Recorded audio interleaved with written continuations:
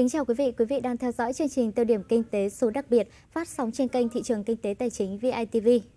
Thưa quý vị, GDP tăng 6,68% so với năm 2014, mức tăng cao nhất 8 năm trở lại đây.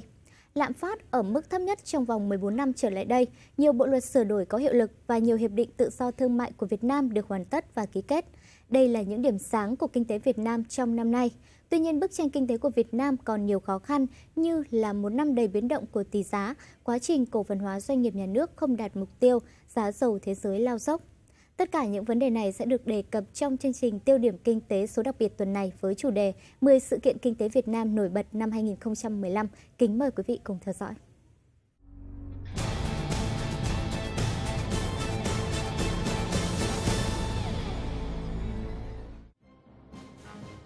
Gần 47.000 doanh nghiệp đăng ký thành lập mới kể từ khi luật doanh nghiệp và luật đầu tư 2014 chính thức có hiệu lực kể từ ngày 1 tháng 7 năm 2015. Trong năm 2015, cả nước có 94.754 doanh nghiệp đăng ký thành lập mới với tổng vốn đăng ký là 601,5 nghìn tỷ đồng, tăng 26,6% về số doanh nghiệp và tăng 39,1% về số vốn đăng ký so với năm 2014. Lý giải về điều này, nhiều ý kiến cho rằng kể từ khi luật doanh nghiệp 2014 có hiệu lực, thời gian cấp đăng ký thành lập mới doanh nghiệp cũng giảm đáng kể xuống còn 2,9 ngày và đăng ký thay đổi giảm xuống còn 2,47 ngày, thấp hơn 2 ngày so với thời điểm trước khi có luật doanh nghiệp 2014 là những yếu tố để hỗ trợ doanh nghiệp nhanh chóng gia nhập thị trường. Trong khi đó, nếu trước đây doanh nghiệp chỉ được kinh doanh ngành nghề ghi trên giấy đăng ký kinh doanh đã gây nhiều phiền hà cho doanh nghiệp do thủ tục khá phức tạp nhiều khi Do đó, việc quy định không ghi ngành nghề kinh doanh trong giấy kinh doanh trong luật doanh nghiệp 2014 được nhiều người kỳ vọng. Cùng với đó, luật doanh nghiệp sửa đổi lần này đã bỏ quy định về con dấu cho doanh nghiệp và để doanh nghiệp tự quyết định về hình thức và nội dung con dấu. Đây là thay đổi tưởng nhỏ về mặt kỹ thuật nhưng tạo ra sự thay đổi rất lớn về mặt tư duy cũng như trong cuộc sống, tác động đến cộng đồng doanh nghiệp cũng như môi trường kinh doanh của Việt Nam. Về liên quan đến ngành nghề mình phải nói là liên quan đến doanh nghiệp thì đăng ký thì phải cái ngành nghề là phải lĩnh vực hoạt động là phải nói đầu tiên. Cái ngành nghề tạo doanh nghiệp là bây giờ là áp dụng cho doanh nghiệp luật đầu tư như luật doanh nghiệp áp dụng. Cho tất cả doanh nghiệp là doanh nghiệp có quyền lựa chọn tự lựa chọn ngành nghề kinh doanh trong phạm vi uh, trong trong những lĩnh, lĩnh vực mà pháp luật không cấm. Đấy là tạo điều kiện rất lớn đối với doanh nghiệp. Thứ hai liên quan đến con dấu thì doanh nghiệp ừ, luật doanh nghiệp cũng đã cải cách là rõ ràng là bây giờ doanh, doanh nghiệp tất cả các doanh nghiệp tự chủ về con dấu tức là lựa chọn những cái hình thức cũng như là số lượng con dấu bây giờ tạo cho doanh nghiệp rất chi là thông thoáng trong cái việc là đăng ký con dấu. Đặc biệt, luật đầu tư năm 2014 bãi bỏ quy định cấp giấy chứng nhận đăng ký đầu tư cho nhà đầu tư trong nước. Theo đó, nhà đầu tư chỉ cần hoạt động theo giấy chứng nhận đăng ký kinh doanh giấy chứng nhận đăng ký doanh nghiệp là được và đủ, thay vì quy định là dự án đầu tư trong nước có quy mô vốn từ 15 tỷ trở lên hoặc dự án đầu tư thuộc lĩnh vực đầu tư có điều kiện thì phải xin giấy chứng nhận đầu tư như luật đầu tư năm 2005. Điều này sẽ tạo điều kiện cho các nhà đầu tư nước ngoài muốn đầu tư vào Việt Nam. Thì à, tôi rất là à, có những cái mà cảm thấy rằng Việt Nam mình có những cái tiến bộ rất là nhiều trong những cái công cuộc về thủ tục hành chính nè, về à, thuế nè và à, giữa doanh nghiệp và nhà nước cũng có cái tiếng nói gần nhau hơn. Và điều này thì à, cũng giúp rất nhiều cho công ty của chúng tôi phát triển. Luật doanh nghiệp và luật đầu tư năm 2014 được ban hành vào tháng 11 năm 2014 và chính thức có hiệu lực kể từ ngày 1 tháng 7 năm 2015 với nhiều nội dung đổi mới, thông thoáng hơn cho thấy sự đổi mới tư duy trong lĩnh vực quản lý doanh nghiệp và hoạt động kinh doanh thông thoáng hơn. Đây là một bước đột phá mạnh mẽ trong hiện thực hóa quyền tự do kinh doanh cho người dân và doanh nghiệp như quy định của hiến pháp mới được bổ sung sửa đổi. Ngay sau khi luật doanh nghiệp sửa đổi và luật đầu tư sửa đổi có hiệu lực từ ngày 1 tháng 7 năm 2015 thì số lượng đăng ký doanh nghiệp thành lập doanh nghiệp mới đã tăng tới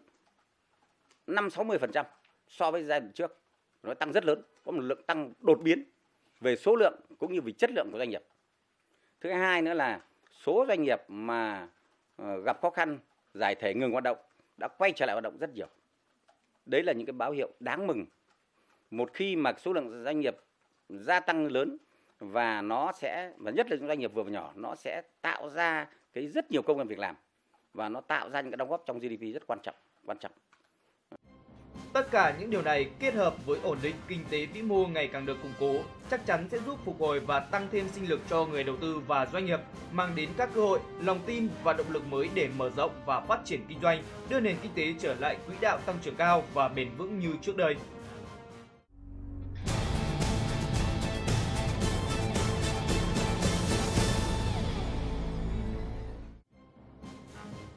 Theo số liệu của Tổng cục Thống kê, tổng sản phẩm trong nước GDP năm 2015 ước tính tăng 6,68% so với năm 2014, cao hơn mục tiêu 6,2% đề ra và cao hơn mức tăng của các năm từ năm 2011 đến 2014.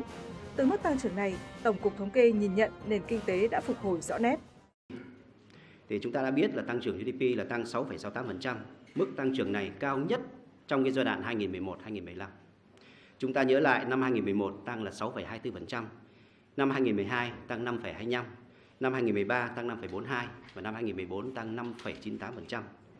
Điều này cho thấy nền kinh tế à, tuy còn gặp khó khăn nhưng đã lấy lại được cái đà tăng trưởng khá. Nền kinh tế vẫn duy trì được tốc độ tăng trưởng hợp lý, quý sau cao hơn quý trước. Trong năm, cả nước có 21.506 doanh nghiệp quay trở lại hoạt động, có 851.000 tỷ đồng vốn đăng ký tăng thêm của các doanh nghiệp thay đổi tăng vốn trong năm 2015. Như vậy, tổng số vốn đăng ký bổ sung thêm vào nền kinh tế trong năm nay là 1.452,5 nghìn tỷ đồng. Số vốn đăng ký bình quân một doanh nghiệp năm 2015 đạt 6,3 tỷ đồng, tăng 9,9% so với năm trước. Điều này cho thấy tình hình hoạt động của doanh nghiệp năm 2015 tiếp tục ghi nhận những dấu hiệu tích cực. Trong năm 2015 thì phần lớn là các doanh nghiệp hoạt động tốt hơn 2014 và có nhiều lý do. Trong đó một trong những lý do mà chúng tôi thấy nổi bật nhất đó là cái sự ổn định kinh tế vĩ mô, lãi suất ngân hàng, lạm phát, tất cả các thứ được giữ ổn định. Mặc dù có những cảm nhận cho thấy là có thể ngân sách của chúng ta khó khăn, có thể là trong năm tới cái áp lực về tỷ giá tăng đồng Việt Nam, à, đồng đô so với đồng Việt Nam lớn. À, mặc dù có những cái biểu hiện không bình thường về những cái việc ở đâu đó là à, ngân sách không trả được lương rồi thì không trả được tiền cho các doanh nghiệp thì chúng tôi thấy rằng 2015 là một năm có thể nói là doanh nghiệp vui vẻ với kết quả hoạt động kinh doanh của mình. Từ kết quả tích cực của tăng trưởng kinh tế năm 2015 tại hội nghị chính phủ với địa phương diễn ra trong 2 ngày 28 và 29 tháng 12, Phó Thủ tướng Chính phủ Nguyễn Xuân Phúc cho biết các chỉ tiêu chủ yếu mà chính phủ đề ra trong năm 2016 là GDP tăng khoảng 6,7%, tổng kim ngạch xuất khẩu tăng khoảng 10%, tỷ lệ nhập siêu so với kim ngạch xuất khẩu dưới 5%, tốc độ tăng giá tiêu dùng dưới 5%, tổng vốn đầu tư phát triển toàn xã hội khoảng 31% GDP. Tuy nhiên, để đạt được những mục tiêu này, chính phủ sẽ tập trung chỉ đạo điều hành chính sách tiền tệ và hoạt động ngân hàng linh hoạt, hiệu quả, thực hiện chính sách tài khóa chặt chẽ, phối hợp với chính sách tiền tệ để hỗ trợ phát triển sản xuất kinh doanh, ổn định kinh tế vĩ mô, thúc đẩy tăng trưởng kinh tế.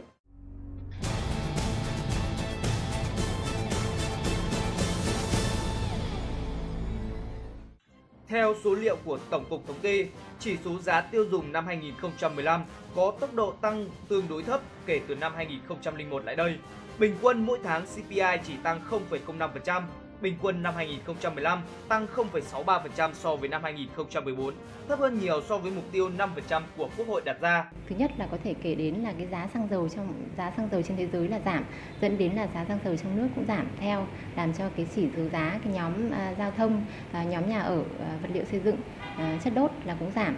À, ngoài ra thì à, còn có một yếu tố nữa là giá à, trên thị trường thế giới một một số các mặt hàng cơ bản cũng giảm giá, đặc biệt là lương thực thực phẩm à, giá cũng giảm. À, ở trong nước thì ờ, ờ, cái cung về lương thực thực phẩm cũng tăng cao. À, thứ hai đó là Việt Nam thì trong thời gian vừa qua cũng gặp khó khăn trong việc xuất khẩu gạo, do vậy nó cũng ảnh hưởng đến cái giá à, giá gạo ở trong nước.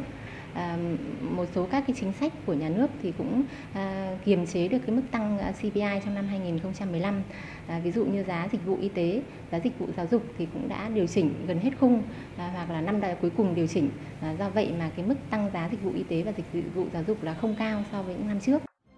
Theo các chuyên gia kinh tế, khi lạm phát tăng thấp là tín hiệu đáng mừng với người dân và doanh nghiệp. Người dân được lợi khi mua được hàng hóa rẻ hoặc không tăng. Điển hình là việc giá xăng dầu trong nước liên tục giảm là tín hiệu tốt cho sản xuất và nền kinh tế. Ngoài ra, việc lạm phát giảm còn là yếu tố khiến mặt bằng lãi suất liên tục giảm trong suốt năm 2014. Lý tế trung ương chúng tôi thì luôn luôn nhấn mạnh rằng là lạm phát thấp và ổn định là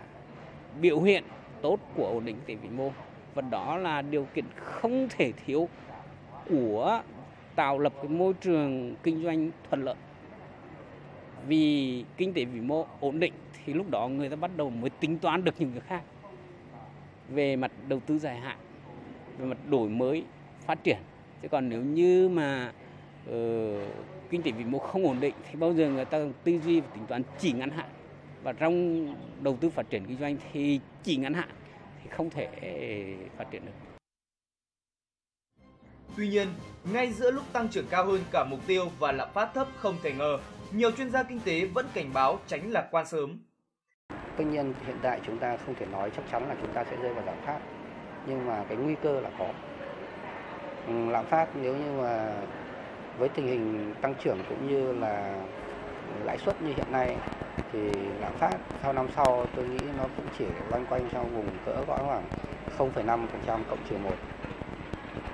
nói chung là rất khó để mà đưa lạm phát lên 2% nếu như mà không có những đột biến về giá dầu hay là Trái ngược với những quan ngại về lạm phát thấp, có ý kiến cũng cho rằng những rủi ro tiềm ẩn về giá điện, giá nước, giá dịch vụ y tế, giá xăng dầu tăng lại là áp lực cho công tác kiểm soát lạm phát.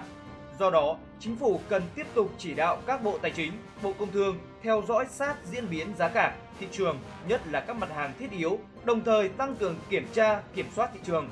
Chính phủ và một số bộ cần cân nhắc thời gian điều chỉnh tăng giá một số mặt hàng thiết yếu để tránh gây tác động lan tỏa về mặt tâm lý lên CPI trong năm 2016.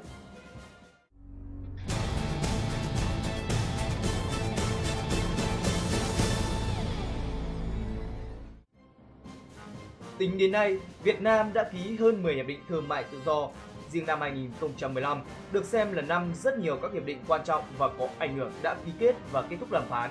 sau hơn 2 năm đàm phán, ngày 5 tháng 5 năm 2015, Hiệp định Thương mại Tự do giữa Việt Nam Hàn Quốc đã được chính phủ hai nước chính thức ký kết tại Hà Nội. Với hiệp định này, các doanh nghiệp đánh giá đây là một thành công rất lớn của Việt Nam. Bởi lẽ, có nhiều mặt hàng chủ lực của nước ta sẽ có lợi hơn khi vào thị trường tiềm năng này. Tuy nhiên, để hưởng được lợi thế này, các doanh nghiệp cần chú trọng nâng cao chất lượng sản phẩm, đáp ứng nhu cầu thị hiếu của thị trường này.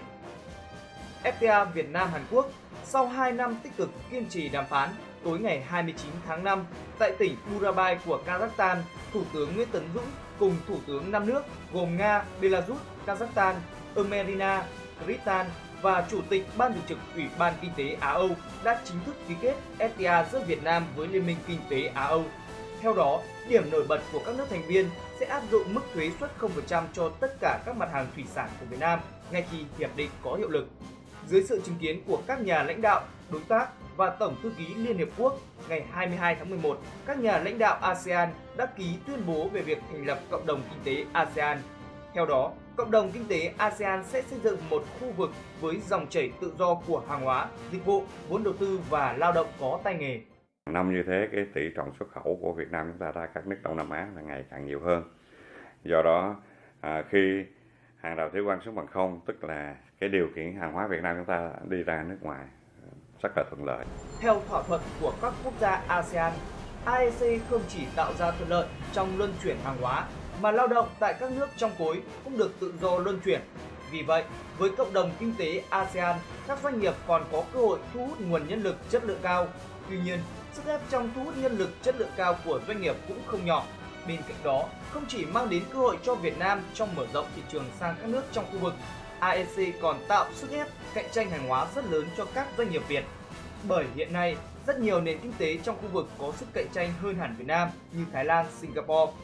Bắt đầu khởi động từ tháng 6 năm 2012, sau hơn 3 năm đàm phán, với 14 phiên chính thức ngày 4 tháng 8, Việt Nam và Liên minh châu Âu đã tuyên bố kết thúc cơ bản việc đàm phán các nội dung hiệp định. Sau gần 4 tháng giải quyết nốt các vấn đề kỹ thuật và hoàn thiện văn bản hiệp định, ngày 2 tháng 12, hai bên đã chính thức ký kết hiệp định theo đúng trình tự dự kiến. Với 500 triệu dân và với GDP trên 17.000 tỷ thì EU là một thị trường rất lớn. EU với Việt Nam có thỏa thuận đến cái mở cửa thị trường đến mức cao nhất có thể thì EU cũng không thể quên được là phải bảo hộ cái nền sản xuất và đặc biệt là bảo vệ cái lợi ích của người tiêu dùng. Một hiệp định rất đáng chú ý đã hoàn tất đàm phán trong năm nay là Hiệp định Kinh tế Chiến lược Xuyên Thái Bình Dương TPP. Sau thời gian đàm phán khẩn trương và kéo dài 5 ngày, ngày 5 tháng 10, các bộ trưởng đã chính thức kết thúc đàm phán. Theo đó, các nước đã đạt được nhiều thỏa thuận về vấn đề còn tồn tại, trong đó có những vấn đề quan trọng như mở cửa thị trường, sở hữu trí tuệ, các quy định về lao động, doanh nghiệp nhà nước. Các chuyên gia nhận định điều này sẽ tác động rất lớn đến nền kinh tế Việt Nam. Cũng rất nhiều các cái uh, nghiên cứu của Hoa Kỳ cũng như là những cái kiểm chứng và nghiên cứu của uh, chuyên gia trong nước cho thấy là Việt Nam là một trong những nước sẽ được hưởng lợi nhiều nhất trong khi chúng ta ký TPP. Các chuyên gia cho biết khi hiệp định này có hiệu lực, rất nhiều ngành xuất khẩu chủ lực của Việt Nam sẽ hưởng lợi như dệt may, da giày. Điển hình đối với các sản phẩm dệt may với mức thuế suất bình quân là 17,3% khi nhập khẩu vào Hoa Kỳ. Vì vậy, khi mức thuế suất giảm xuống 0%, khoảng lợi nhuận chênh lệch mà doanh nghiệp được hưởng là rất lớn. Tuy nhiên, cũng lưu ý về những quy định để hưởng được mức thuế suất này, bởi lẽ hiện nay khả năng đáp ứng về quy tắc nguyên liệu cho các mặt hàng này của doanh nghiệp nước ta rất hạn chế.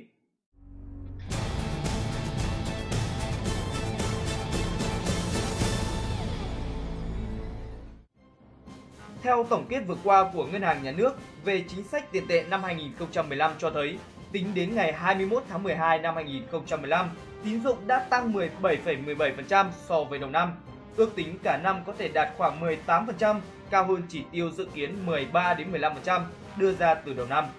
Theo cơ quan chức năng, một yếu tố đáng mừng là mặc dù tín dụng năm nay tăng cao nhưng vẫn đảm bảo phù hợp với sức hấp thụ của nền kinh tế, đi đôi với đảm bảo an toàn hệ thống tín dụng. Theo đó, sau tháng 9 năm 2015, nợ xấu tiếp tục giảm trong tháng 10 và tháng 11. Tháng 9 năm 2015, tỷ lệ nợ xấu ở mức 2,93%, tháng 10 là 2,91% và đến ngày 31 tháng 11 năm 2015, nợ xấu toàn hệ thống giảm còn 2,72%.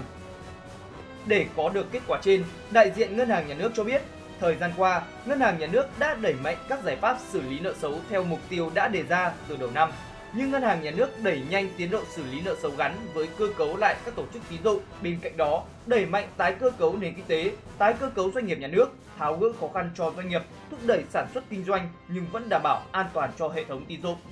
Mặc dù kết quả thống kê của cơ quan điều hành chính sách tiền tệ đã ghi nhận nhiều con số đáng khích lệ, Tuy nhiên, theo nhiều chuyên gia, cần tiếp tục đẩy mạnh các biện pháp xử lý trên đề. Bởi lẽ, phần lớn khoản nợ xấu chỉ được chuyển sang công ty mua bán nợ VAMC và thực chất khoản nợ xấu tồn tại trong nền kinh tế vẫn còn rất lớn.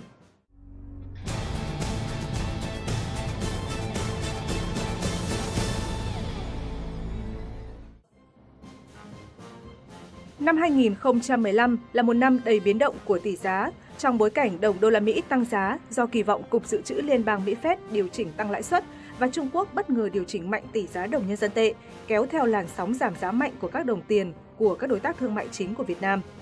Trước tình hình đó, Ngân hàng Nhà nước Việt Nam đã chủ động, linh hoạt trong điều hành để đưa ra những giải pháp phù hợp với điều kiện tình hình mới. Ngay sau khi Ngân hàng Nhân dân Trung Quốc bất ngờ phá giá đồng nhân dân tệ vào ngày 11 tháng 8, Ngày 12 tháng 8, Ngân hàng Nhà nước Việt Nam đã điều chỉnh biên độ tỷ giá giữa Việt Nam đồng và đô la Mỹ tăng từ cộng trừ 1% lên cộng trừ 2%. Tiếp đó, để tiếp tục chủ động dẫn dắt thị trường, xóa bỏ tâm lý kỳ vọng, đón đầu các tác động bất lợi của khả năng phép tăng lãi suất và biến động của thị trường tài chính thế giới, ngày 19 tháng 8, Ngân hàng Nhà nước đã điều chỉnh tỷ giá bình quân liên ngân hàng giữa Việt Nam đồng và đô la Mỹ thêm 1%, đồng thời mở rộng biên độ tỷ giá từ cộng trừ 2% lên cộng trừ 3%. Việc điều chỉnh này nhằm trung hòa, bảo vệ nền kinh tế trước các cú sốc bên ngoài. Kết quả là tỷ giá và thị trường ngoại hối đã nhanh chóng đi vào ổn định, tâm lý thị trường được giải tỏa.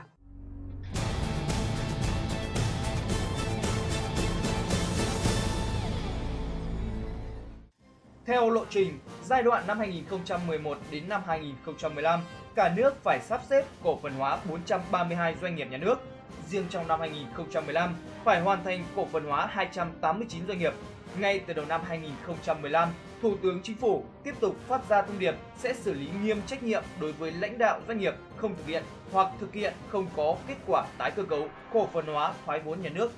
Thế nhưng, thời điểm này, với các doanh nghiệp lớn, việc tìm kiếm các nhà đầu tư chiến lược không hề dễ dàng. Tôi cho rằng là nó vẫn nằm trong cái thách thức mà từ năm ngoái chúng ta đã xác định. Đó là cái việc mà làm sạch những cái bảng tài chính để tạo sự hấp dẫn trên thị trường. Thứ hai nữa là kêu gọi cũng như là thu hút được sự đầu tư của các cái nhà đầu tư trên thị trường tài chính mua chứng khoán, mua trái phiếu, mua uh, những cái ờ, cổ phiếu của những cái doanh nghiệp này và kêu gọi những cái đối tác chiến lược tham gia. Trong khi đó, một số khó khăn trong xác định giá trị doanh nghiệp để cổ phần hóa đến nay vẫn chưa được giải quyết, như hoàn nhập các khoản dự phòng vào vốn nhà nước, xác định giá trị các khoản đầu tư dài hạn, giá trị tiềm năng, tài sản đã hết khấu hao, định giá lại các khoản đầu tư tài chính tại thời điểm chuyển doanh nghiệp thành công ty cổ phần, xác định giá trị cổ phiếu bán cho người lao động và tổ chức công đoàn đối với doanh nghiệp chuyển sang cổ phần nhưng chưa có điều kiện IPO ngay. Tuy nhiên, một trong những nguyên nhân khiến tiến trình tái cấu trúc doanh nghiệp nhà nước có phần chậm trễ vì tư tưởng chần chừ, chưa quyết tâm của một số lãnh đạo doanh nghiệp nhà nước. Các giám đốc họ có thể không muốn cổ phần hóa bởi vì như vậy là cái, cái quyền lực của họ đối với doanh nghiệp nó bị giảm sút đi. Thế thế rồi cũng có những nguyên nhân như là sau khi cổ phần hóa xong thì anh làm một công ty đại chúng thì cái uh, trách nhiệm công bố thông tin của anh nó cũng ờ, phải cao lên thế thế mà trong trường hợp nếu như doanh nghiệp nó không thực sự làm ăn tốt lắm thì có thể người ta cũng không muốn theo Bộ Tài chính, năm 2016, nhiều doanh nghiệp nhà nước vẫn phải gấp rút hoàn thành cổ phần hóa, cần thiết phải tạo sức ép đối với cán bộ lãnh đạo, người đứng đầu không đáp ứng yêu cầu tái cơ cấu cổ phần hóa doanh nghiệp. Bên cạnh việc đảm bảo đúng tiến độ thì còn phải đảm bảo chất lượng doanh nghiệp sau cổ phần hóa. Có như vậy, cổ phần hóa mới thực sự đạt hiệu quả và tăng sức cạnh tranh của doanh nghiệp, nhất là trong bối cảnh hội nhập ngày càng sâu rộng.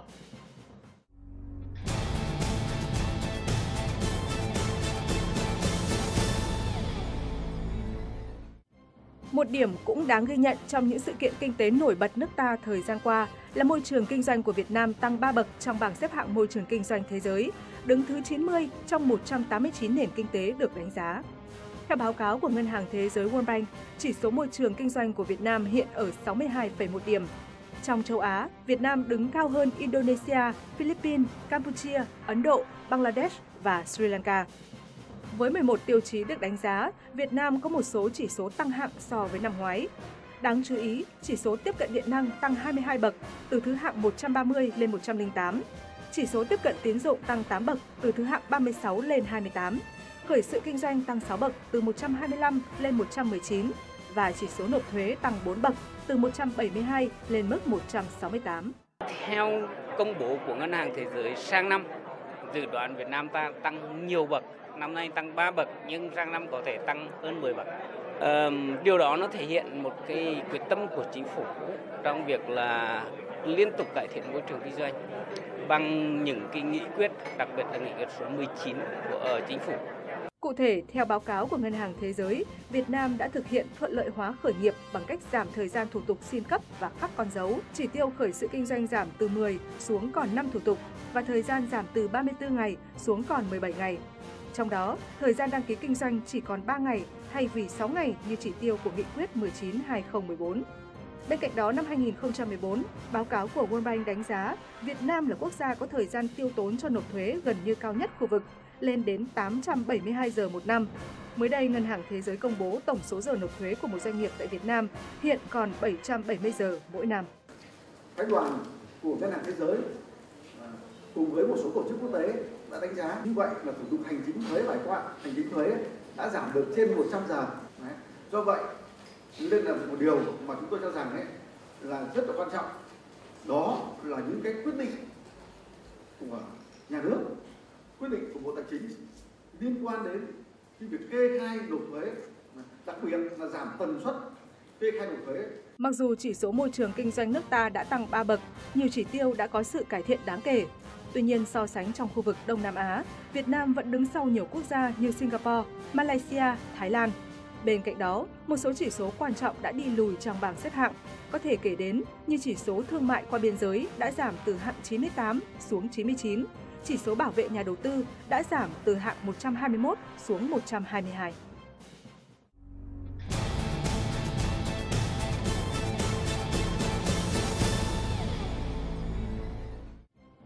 Chỉ trong vòng hơn một năm qua, giá dầu thế giới đã sụt giảm mạnh chưa từng thấy, xuống 35 đô la Mỹ trên một thùng trong mấy ngày qua. thấp hơn rất nhiều so với mức 110 đô la Mỹ trên một thùng cách đây 18 tháng.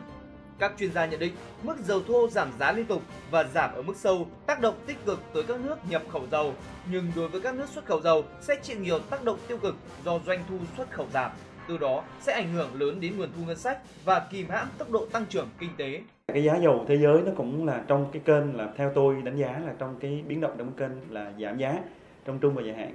Do vậy cho nên là cái giá dầu giảm giá như vậy nó sẽ tác động đến cái nguồn thu ngân sách của chúng ta rất nhiều. Bởi vì chúng ta cũng thấy là chúng ta là một trong những nước mà xuất khẩu dầu cũng khá là à, là À, nhiều và nó đóng góp vào rất là lớn trong cái tỷ trọng GDP của đất nước. Tuy nhiên, ở chiều ngược lại, giá dầu thế giới liên tiếp sụt giảm mạnh và chạm đáy thấp nhất trong nhiều năm là tín hiệu dự báo xăng dầu trong nước trong thời gian tới tiếp tục có dư địa giảm giá mạnh, cơ hội cho người dân, doanh nghiệp hưởng lợi. Từ đó giúp chi phí đầu vào sản xuất kinh doanh của doanh nghiệp giảm, gia tăng lợi nhuận, kéo theo tăng trưởng kinh tế và tăng thu ngân sách. Do đó, để ứng phó tốt, chính phủ Việt Nam cần có những biện pháp khai thác triệt để để các lợi ích từ đó mang lại. Đồng thời, để giảm thiểu những tác động xấu, Việt Nam cần thực hiện các biện pháp như tái cơ cấu chi theo hướng thắt chặt chi tiêu, nâng cao hiệu quả chi tiêu, đa dạng hóa nền kinh tế và nhiều giải pháp đồng bộ khác. Về lâu dài đấy thì họ phải đa dạng hóa cái nền kinh tế họ không thể chỉ, chỉ trông chờ vào cái nguồn ngoại tệ thu, thu hút từ xuất khẩu dầu mỏ và khí đốt thì đối với Việt Nam chúng ta đây cũng sẽ là một vấn đề là chúng ta khai thác hoặc không khai thác hoặc là chúng ta tăng cái khả năng uh, chế biến các cái dầu thô mà chúng ta khai khai thác được thay vì chúng ta phải xuất khẩu ra bên ngoài trong khi đó chúng ta lại phải nhập khẩu các sản phẩm của dầu mỏ từ bên ngoài vào trong đối với nền cho nền kinh tế Việt Nam. Cũng theo dự báo của Tổ chức Năng lượng Quốc tế, nguồn dự trữ dầu toàn cầu năm 2016 sẽ tiếp tục tăng, mặc dù tốc độ có thể chậm hơn năm 2015. Với kịch bản giá dầu ở mức dưới 30 đô la Mỹ, khi đó GDP Việt Nam có thể giảm hơn 2% vào năm 2016. Nền kinh tế Việt Nam sẽ ở trong trạng thái giảm phát sâu với mức giảm dự đoán sẽ lên tới 110%.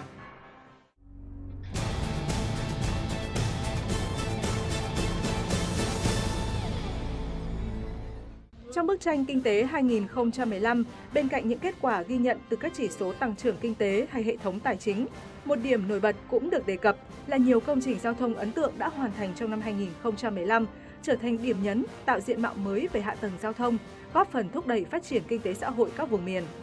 Công trình giao thông nổi bật đầu tiên phải kể đến là cao tốc Hà Nội Hải Phòng với chiều dài 105 km, là tuyến đường rộng nhất cả nước với 6 làn xe, hai làn đường khẩn cấp, đây là tuyến cao tốc được đánh giá đạt tiêu chuẩn thế giới và hiện đại nhất Việt Nam. Có thể nói rất nhiều những cái dự án quan trọng mà trong một cái thời gian vừa rồi những cái đồng chí biết đã được đưa vào khai thác sử dụng với một cái sự chỉ đạo rất quyết liệt của chính phủ đấy, sự nỗ lực của ngành giao thông của các địa phương đấy, và với một cái chủ trương chỉ đạo đó là làm sao là tiến độ nhanh nhất chất lượng tốt nhất và và an toàn nhất. Nhiều công trình giao thông khác cũng phải được kể đến như quốc lộ 1A nâng cấp mở rộng từ Thanh Hóa đến Cần Thơ. Vừa qua, đoạn cuối cùng của dự án mở rộng quốc lộ 1 từ Thanh Hóa đến Cần Thơ dài hơn 1.300 km đã được hoàn thành. Đi qua 20 tỉnh, thành phố, quốc lộ 1A từ Hà Nội đến Cần Thơ có quy mô 4 làn xe cơ giới, hai làn hỗn hợp đạt tốc độ lưu thông từ 40 đến 60 km một giờ. Như hiện nay là những cái tuyến quốc lộ 1A thì theo cái sự chỉ đạo ờ, ờ, của chính phủ và nghị quyết của quốc hội là phải đến 2016 mới hoàn thành. Nhưng mà đến thời điểm hiện nay là toàn bộ là 100 à 1000 à, 1300 km tức là từ Hà Nội đến Cần Thơ đã thông tuyến của,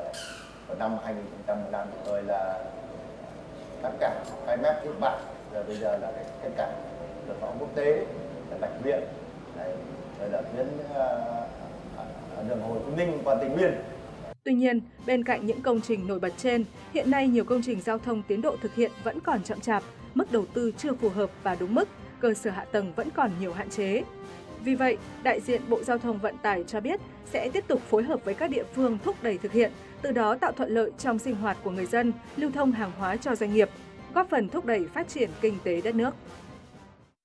Thưa quý vị, trong những sự kiện kinh tế Việt Nam năm qua xen lẫn cả bức tranh sáng tối, nhiều cơ hội nhưng cũng không ít thách thức. Vì vậy, theo các chuyên gia kinh tế, các cơ quan chức năng cần đẩy mạnh các chính sách, tăng cường các giải pháp thiết thực triệt đề hơn nữa. Đồng thời, doanh nghiệp cũng cần chủ động nâng cao năng lực cạnh tranh, từ đó tận dụng cơ hội vượt qua thách thức, thúc đẩy nền kinh tế phát triển hơn nữa trong những năm tới. Đến đây thì chương trình của chúng tôi cũng xin được khép lại. Chân thành cảm ơn sự quan tâm theo dõi của quý vị. Quý vị có thể xem trực tuyến hoặc xem lại chương trình trên website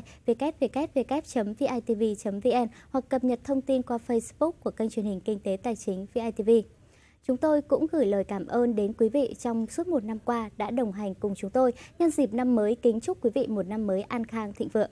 Còn bây giờ xin kính chào và hẹn gặp lại.